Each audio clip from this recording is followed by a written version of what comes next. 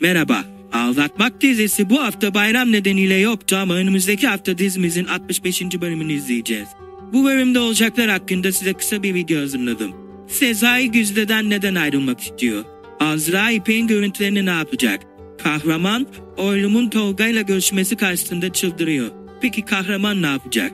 Sizce kahramanın canı babası gibi davranmaya hakkı var mı? Gelecek bölümde Azra elindeki görüntüleri göstererek İpek'i tehdit edecek. İpek, Azra'nın bu davranışı karşısında şok olacak. Fakat İpek, Azra'ya bu yaptığı davranışı misliyle ödetmeye kararlı olacak. İpek, Azra'nın elinden kayıtları alabilmek için plan yapacak.